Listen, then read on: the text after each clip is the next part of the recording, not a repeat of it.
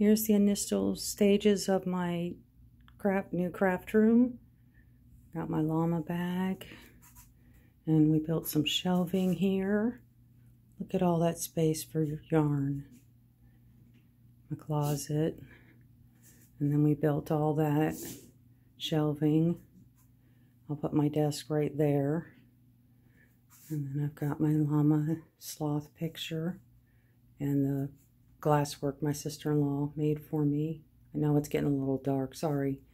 And I got my llama curtains. And then I've got a little peg thing to hang some stitch markers and buttons. I'm going to hang my Z Touched Me there, 1-800-Z. And then my triangle to put some decorations on. And then my Hound Hog News, that's my Schnauzer puppies.